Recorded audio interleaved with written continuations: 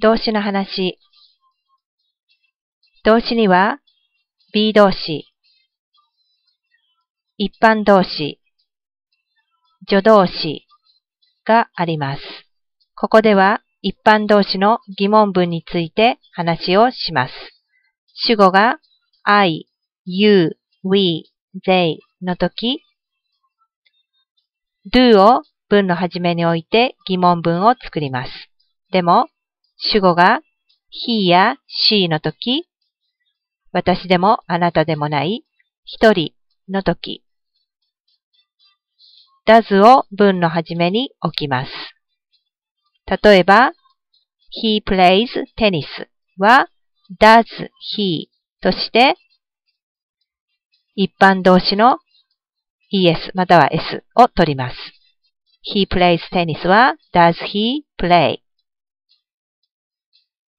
そして最後に、えー、question does he play tennis? クエスチョンをつけたら完成です。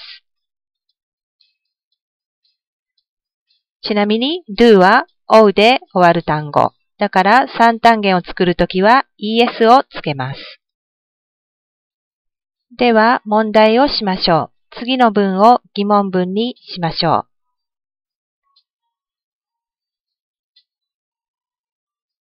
う。1. He plays baseball every day. 2番 She comes to school on Monday. 3番 Miss Brown drives a car. 4番 Ken goes to 塾 on Thursday. 5番 She studies English after school. 答え1番 Does he play baseball every day? 2番 Does she come to school on Monday? 3番 Does Miss Brown drive a car? 4番 Does Ken go to 塾 on Thursday? 5番 Does she study English after school? 大切1、主語は小文字に。